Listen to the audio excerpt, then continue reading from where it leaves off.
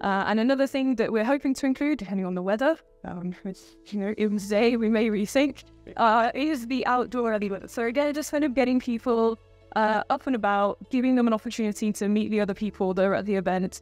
Uh, and so we've been talking with um, the RAU to go on their RAU Amble, which is a walk around campaign, to take a look at the things that they're doing to support kind of the environment and uh, the journey to net zero.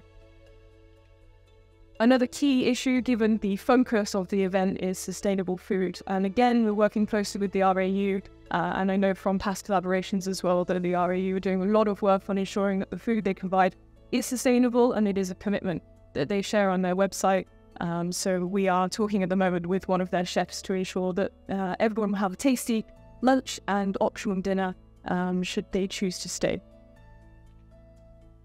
And importantly, as well, as Damien mentioned, we want to move from a competitive kind of Dragon's Den style pitching of solutions to a collaborative process of ideation and solution building. So rather than having people arguing with one another, we're there to facilitate a, a constructive environment. So giving people that opportunity, that space to share their thoughts um, without kind of feeling that they might be argued with.